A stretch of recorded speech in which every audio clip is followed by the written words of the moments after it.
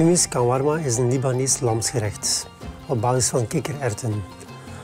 We gaan dus eerst en vooral onze humus maken. En dat is op basis van kikkererwten. We hebben die al laten uitlekken.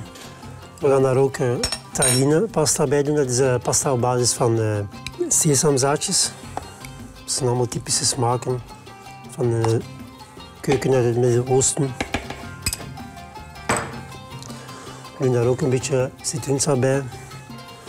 Er ook een beetje knoflook bij doen. Die gaan we een klein beetje pletten.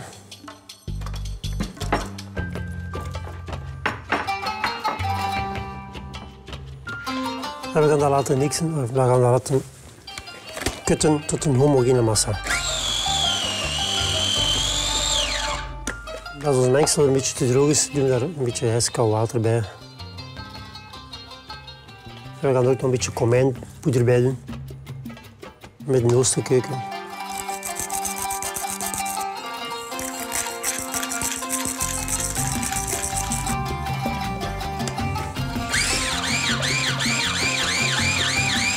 Voilà, dat ziet er goed uit. Ik wil bijna zeggen dat het Nutella is, maar een beetje bleker. We gaan dat in een kommetje doen en we gaan dat een beetje laten rusten. Waarom moeten we dat laten rusten? Dat is gewoon omdat alle smaken zich goed zouden vermengen. Zo, onze hummus is gereed. We laten die een half uurtje rusten, dat alle smaken zich goed kunnen mengen. En nu gaan we verder met onze Libanese lamsbereiding. Nu dat onze hummus aan het rusten is, gaan we ons lamsvlees bewerken en een filetje. We snijden dat in gelijkmatige blokjes. Waarom snijden we dat in kleine blokjes? Omdat we straks gaan bakken in de pan, maar dat moet juist geschroeid zijn. En als dat te groot is, duurt dat veel te lang en wordt je vlees niet mooi gelijkmatig geschroeid. Nu gaan we ons lamsvlees marineren. En wat gaan we allemaal gebruiken? We hebben een beetje zout.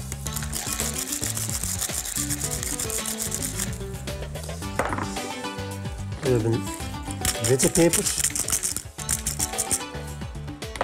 Een beetje zwarte peper.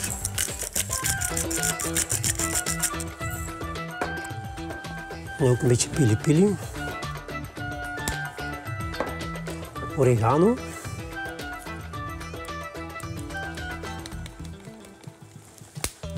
Ga daar ook wat munt bij snipperen. Dat zo een frisse toets geven in onze bereiding.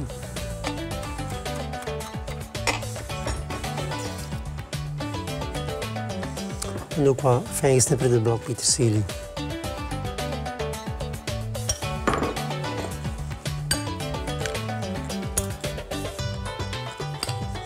En ik nog een klein beetje kaneelpoeder bij. Niet te veel.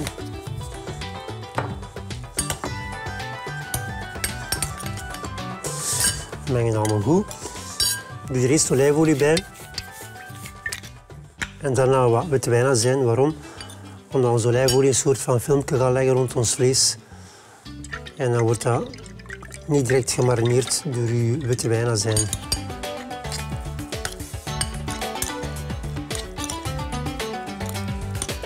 een klein beetje witte wijnazijn.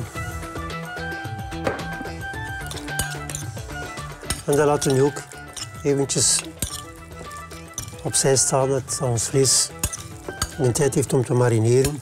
Dat al die smaken zich goed vermengen. En straks gaan we dat aanschroeien. Voor mij is dat goed.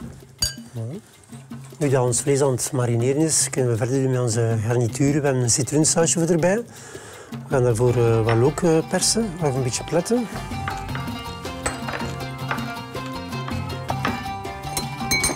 En onze peterselie. Bladpeterselie die fijn gehakt is. Die daar de look bij. Daar gaan we citroensap bij doen. En ook een scheutje witte wijnazijn.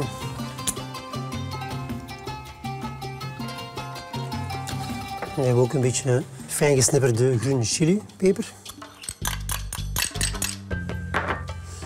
En dat alles gaan we mooi mengen. Nu dat we alles garnituren hebben, gaan we ons bordje afwerken. En we gaan eerst ons vlees bakken natuurlijk. ga daar een beetje olijfolie in de pan doen, samen met wat boter. En we laten dat goed heet worden.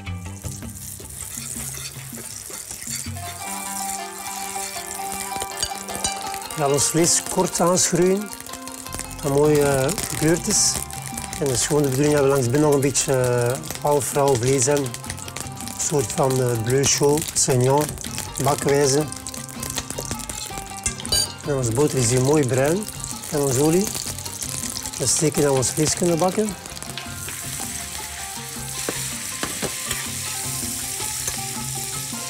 Intussen gaan we ons bordje bestrijken met hummus.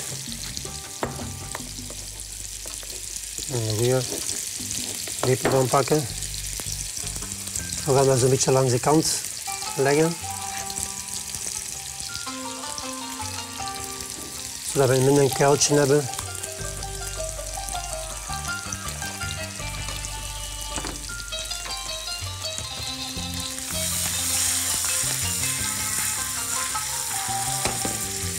Ons vlees is krokant gebakken.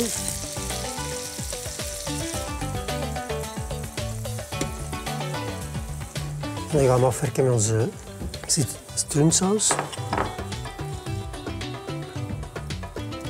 Strooien dat er zo'n beetje over. Dan kunnen we afwerken met een beetje kikkererwten in het midden. En ook nog een beetje geroosterde pijnboompitten. Pijnboompitten heb ik al op voorhand geroosterd in een pan. Dat is heel eenvoudig. Gewoon een goede theevatpan, goed heet laten worden. En je pijnboompitten een beetje laten kleuren, zonder vetstof. Voilà. En nog een klein beetje peterselie erover. Zo, onze Libanese hummus shawarma schotel is afgewerkt. Dat is een lekker gerechtje om met het vuistje te eten. Denk maar dat je op een terrasje zit in Libanon. Smakelijk.